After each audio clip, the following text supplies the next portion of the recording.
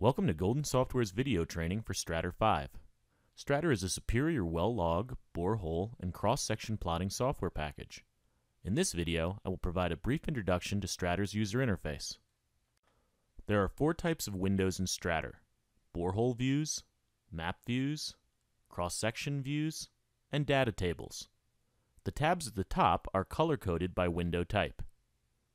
By default, borehole view tabs are labeled with blue text. Borehole views show all of the graphical elements of your log. This is where you design and create your log layout. The page of a borehole view can be divided into three panes, the header pane, the footer pane, and the log pane. The header and footer panes typically contain information about the logs, such as scale bars and log titles, linked text like hole ID and northing easting information, and meta files like a company logo.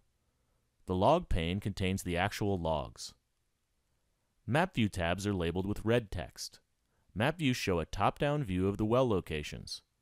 Each map view can contain only one map, but each map can contain multiple wells and base layers. Each layer and the map itself can have different coordinate systems assigned to it. Base layers can be created from various image or vector files, such as TIFF, DXF, and shapefiles. Wells within a wells layer can be connected with a well selector line, which can then be used to generate a cross-section. Cross-section view tabs are labeled with green text. Cross-section views show relationships between adjacent logs. These logs can be based off of interval data like lithology intervals, depth data like geophysical logs, or raster images such as scans of paper wireline logs. Wells are automatically connected with layers when using interval data. When using depth data or raster images, layer tops can be imported or manually created. You can reshape default layers or delete them and draw your own custom layers. As with borehole views, cross-section views can be divided into three panes. The header pane, the footer pane, which this view doesn't have, and the cross-section pane. For a cross-section view, the header and footer panes are likely to contain objects like well headers, map views, and legends. The cross-section pane contains the cross-section, as well as overlain logs and drawn objects. All of the logs, maps, and cross-sections are based on the data in the data tables. Data table tabs are labeled with black text. Each data table can contain data for multiple wells. The data in each table is linked via the hole ID column to create a complete picture of what's happening in each well. The three different views in Strater utilize four managers that are open on the left side of the Strater window by default.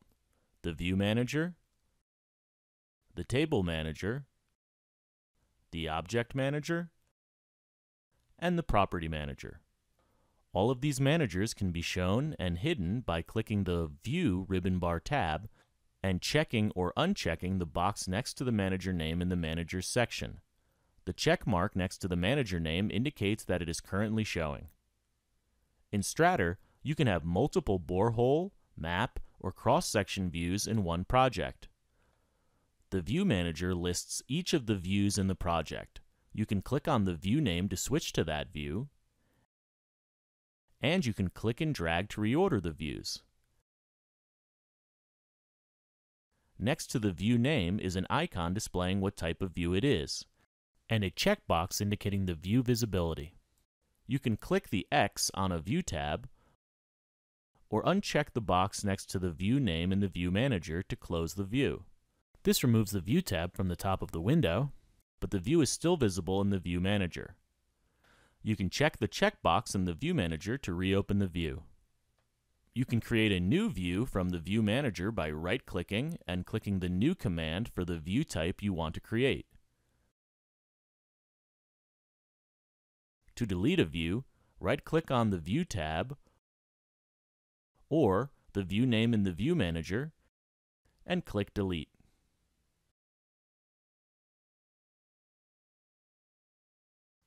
The Table Manager is like the View Manager, but for tables rather than views.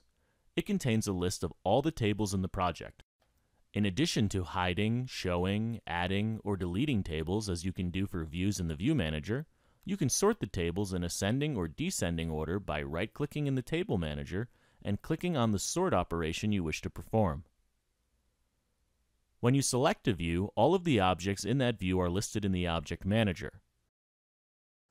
For the borehole and cross-section views, objects are grouped together according to which pane they are located in.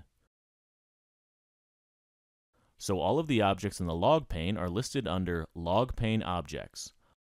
All of the objects in the header pane are listed under Header Pane Objects, and all of the objects in the footer pane are listed in the footer pane objects.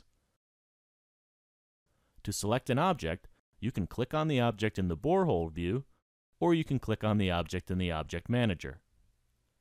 After an object is selected, the properties for that object are shown in the Property Manager. Changing a property in the Property Manager immediately updates the view. For example, I can change the text color for the complex text log in this borehole view by selecting the complex text log, clicking the Label tab in the Property Manager, expanding the Font Properties section, and changing the foreground color to red. The text color of the log immediately updates. In addition to the tabs specifically for changing line, symbol, fill, and label properties, there is a Log tab where we can set the table and data columns being plotted in the log.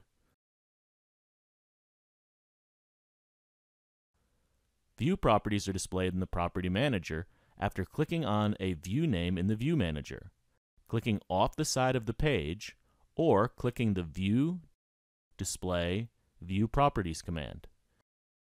This is where you can set the hole ID of the well being displayed change the depth properties and the scale properties, and set various other properties that affect the entire view. This concludes the video introduction for Strater 5's user interface. If you have any additional questions, please contact Golden Software.